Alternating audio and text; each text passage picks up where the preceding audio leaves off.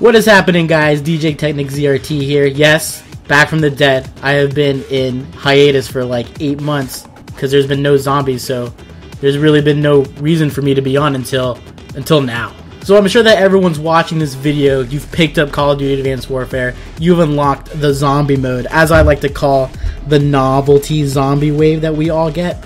It's only a novelty. In my theory, it's only going to be a novelty. DLC for the game, I believe, will strictly be multiplayer and it will strictly be gun unlocks. I think that's pretty much it. I don't think we're going to get any zombie DLC just because now we have this news that just came out today um, that Treyarch studio head Mark Lamia to talk at DICE Summit 2015 about the development process behind zombies.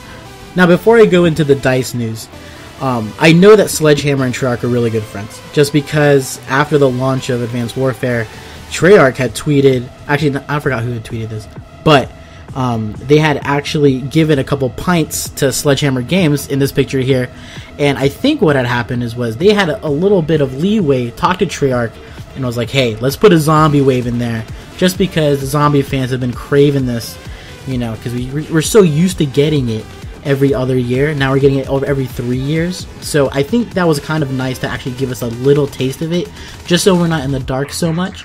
But I think that's what had happened. Treyarch was like, "Here's Sledgehammer, go ahead, uh, do some zombie stuff for us, uh, and then maybe, just maybe, if there is a small storyline in Advanced Warfare, it might progress from Advanced Warfare into Call of Duty Black Ops. But you have to understand that if that happens with Treyarch's game, then we're gonna have a whole new storyline. It won't pick up from Black Ops 2. And I do know a lot of us follow the Black Ops story, Treyarch story, very closely. So I think if we were to get some sort of new storyline, um, I wouldn't kind of be upset about that. I kind of would be kind of excited, but I still would want to see what the progression kind of was in the old zombies, because I mean that's that's a huge cliffhanger to leave there. If you guys had finished Origins, the Easter egg, the hardcore zombie players that you guys are. But back to the DICE news. Um, the 2015 Summit Without Borders is kind of DICE's conference. Uh, they do uh, video game developers come around the world, come together, discuss state of industry and processes, how they products were crafted, created. Dice 2015 will take place February 3rd through 5th. It's kind of like a gathering. Um, it's kind of like uh, the development conference, kind of. But Mark Lamia will be there.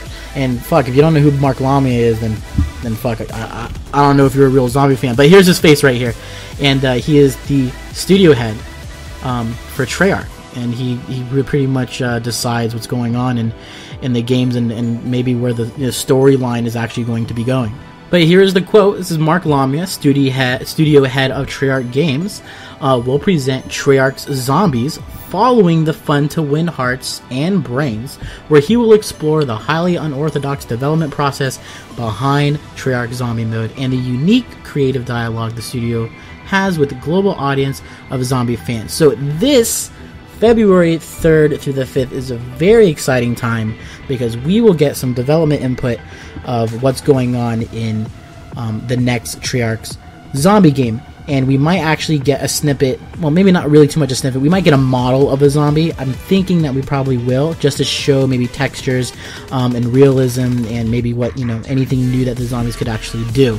But this is incredibly exciting news. Uh, this is definitely something that every zombie fan should definitely look forward to. Mark it on your calendars because it's, it's definitely going to be a good event um, for zombie fans. And I think that this is it. We are in the, the, the stretch to our new zombies. Advanced Warfare is out. That means we have less than one year before we get our new zombies game. And, and honestly, and this is coming from my perspective, I haven't bought an Xbox One yet. I have PS4, but um, I definitely respect what Xbox has been doing in the last you know year with uh, Phil Spencer being the lead of it, and I wouldn't mind getting an Xbox One at that time for zombies if you know this this deal is still struck with with Treyarch Call of Duty getting DLC first because never no one ever wants to be left behind in the story mode, especially if you know Xbox is going to be definitely getting that first. So we'll see what happens. Uh, this is definitely good news for everybody, and uh, I'll keep you guys updated. But uh, thanks for watching the video. Leave a like, leave a comment, tell me what you think. Are you guys going to be watching the 2015 Summit Without Borders? This is DJ Technics ZRT for Lab Z, and I'm out. Follow the research on Twitter at Bashaar Zainal. Subscribe now